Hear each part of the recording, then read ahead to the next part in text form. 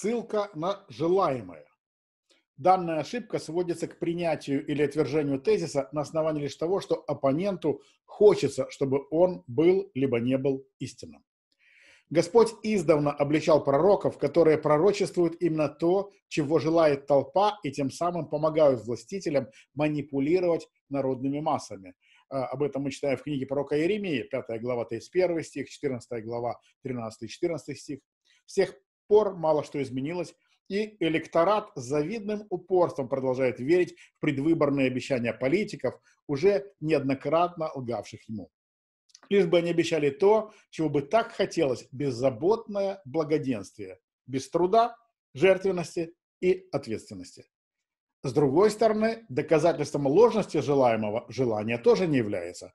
Такой вывод был бы ошибкой ссылкой на мотивы. Желанность и истинность – категории несравнимые. Когда желается что-либо истинное, бессмысленно отвергать его лишь на этом желании.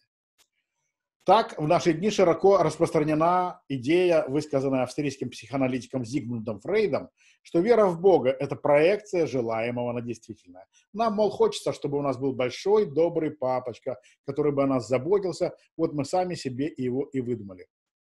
Вряд ли бы аргументацию Фрейда взяли бы на вооружение воспитатели сиротского приюта, чтобы утешать подобным образом своих подопечных. Зачем, мол, ты тоскуешь по маме? Мам же не существует. Тебе просто хочется, чтобы у тебя была мама, вот ты ее себе и выдумал. Мама – это проекция твоих желаний на действительность.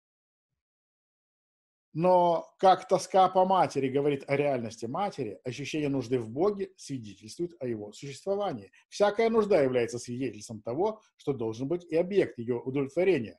Нужды без соответствующего ей объекта не бывает.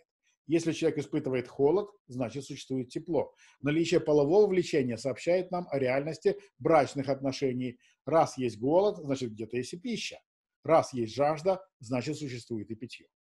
Таким образом, наличие в нас нужды в некоем высшем смысле, нужды в предназначении является ничем иным, как следствием существования предназначения и высшего смысла. А они могут происходить только от Создателя.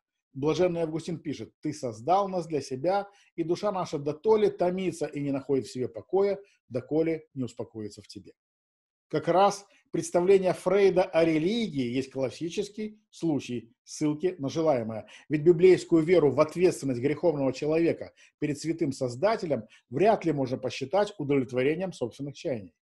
Так что верить, что Бога нет, это и значит выдавать желаемое за действительное, следуя старому принципу «мы сами будем себе как боги и сами будем решать, что хорошо, а что плохо». Бытие 3 глава, 5 стих.